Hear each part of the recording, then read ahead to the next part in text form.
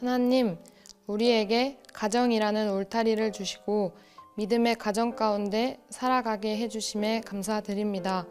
우리 가정이 살아가는 어느 곳에서든지 하나님을 믿는 믿음을 잊지 않고 살아가게 해주세요.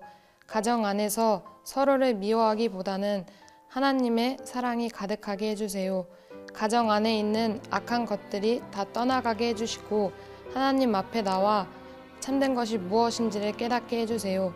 또한 부모님들은 가정에서 세상의 것을 가르치기보다는 하나님의 말씀을 가르치게 해주세요. 하나님의 말씀으로만 무장된 가정이 될 수 있도록 하나님께서 함께 동행하여 주세요.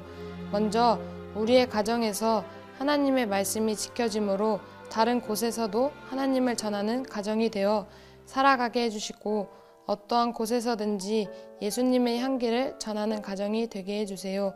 집에 돌아와 가족들이 모여 세상에 있었던 일을 나누기보단 하루 동안에 하나님이 함께 해주셨던 감사를 나누고 간증을 나누는 가정이 될 수 있도록 하나님께서 함께 해주세요. 언제나 변함없이 하나님만을 바라보는 가정이 되게 하나님께서 늘 동행하여 주시고 지켜봐 주세요.